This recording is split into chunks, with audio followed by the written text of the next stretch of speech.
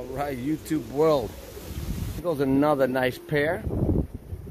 Uh, this pair will go nice together for next year, for uh, 2020. Son, Dun Grizzle. The lighter one is the hen. The darker one in the back is the cock. And these guys will look really good together.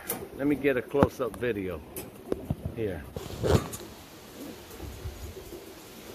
Uh, let me let that cock settle down a little bit. The hen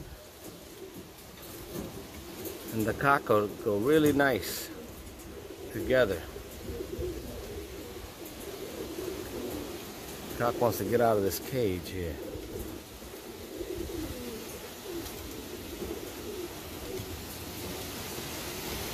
Let me see if I can reposition this cage.